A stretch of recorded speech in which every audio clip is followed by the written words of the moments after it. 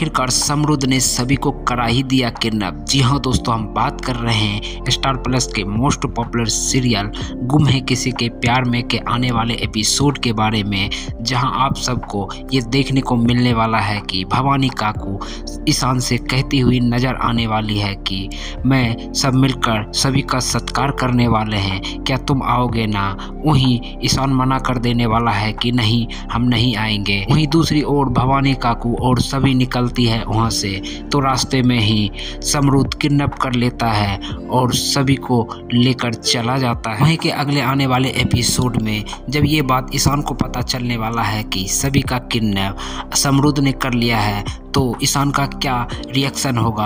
आप लोग हमें कमेंट करके ज़रूर बताएँ और देखते रहें गुम है किसी के प्यार में स्टार प्लस